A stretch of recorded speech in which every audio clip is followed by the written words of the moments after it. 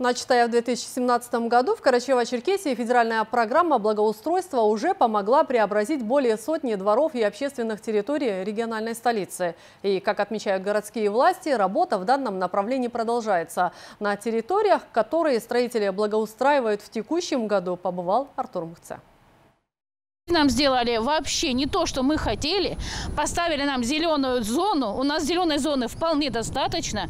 Они нам выставили всю зеленую зону. Зачем? Амброзия, кто будет ее заниматься? В нашем доме живут одни пенсионеры. Жители этого дома по улице Привокзальной в Черкеске несколько лет ждали, когда в их двор заглянет объявленная в 2017 году по стране программа благоустройства. Проект они утвердили, но дальше что-то пошло не по плану. В этой зоне отдыха мы хотели вынести Фух, очистить от мусора, остановить лавочки, лавочки, освещение, выложить тротуарной плиткой. Для пенсионеров установить тренажеры. Оказалось, что часть территории перед домом является собственностью РЖД, а потому убрать с глаз долой, к примеру, этот развалившийся частный домишко подрядчики не имеют права. И все же люди надеются, что решение будет найдено, возможно, с помощью установки забора. А вот устранением амброзии должна заняться обслуживающая организация. Соответствующие рекомендации от городского управления ЖКХ будут даны в ближайшее время. В Черкеске с начала действия федеральной программы благоустроены более сотни дворов и общественных территорий. Горожан заинтересовали возможностью лично определять, что они хотели бы видеть под окнами своих квартир.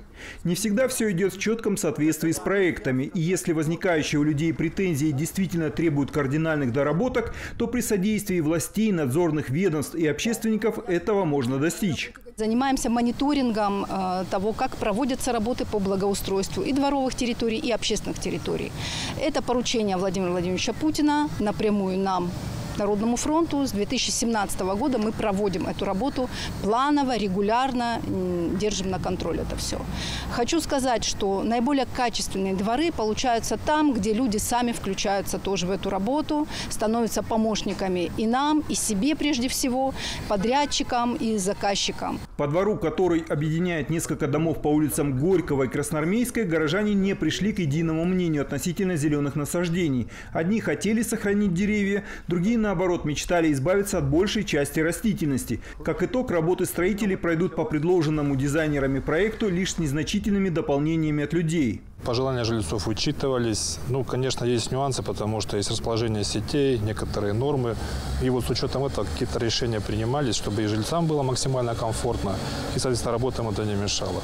И уже исходя из этого, то есть схематичный план, и приступили к работам. В данном дворе у нас запланирована детская площадка, площадка для отдыха, игровая площадка, и спортивная площадка то есть для активного вида спорта, то есть баскетбол, то есть мини-футбол. Вопрос с зелеными насаждениями здесь планируется решить с помощью спонсорской поддержки. По завершении основной части работ жильцы смогут принять участие в высадке около полусотни молодых деревьев – кленов, лип, берез.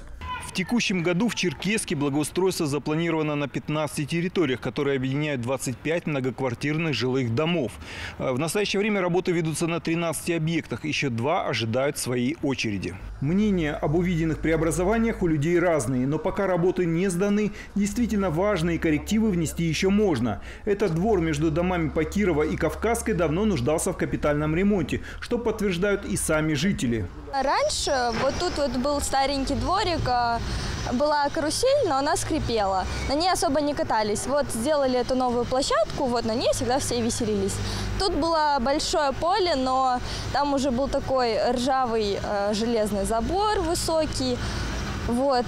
А в некоторых местах он уже там порвался, и неудобно стояла парковка, потому что дети иногда, ну, сами этого не специально, короче, они мечом случайно попадали в машину. Насколько успешно подрядчики реализовали пожелания горожан, узнаем через несколько месяцев. Но уже сейчас можно говорить о кардинальном изменении облика. Таким этот двор не был никогда. Как и все те, которые уже капитально отремонтированы в городе в рамках федеральной программы.